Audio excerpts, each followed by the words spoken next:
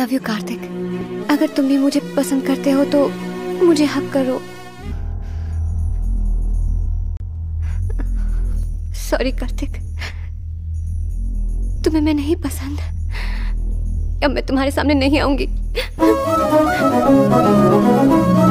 मैंने तुम्हें पहली बार देखा, तब से पसंद करता हूँ। तुम्हें मेरे साथ सेल्फीज खींचना पसंद है ना? लेकिन मैंने तुम्हारी तस्वीर पहले से ही अपने दिल में बसा ली है।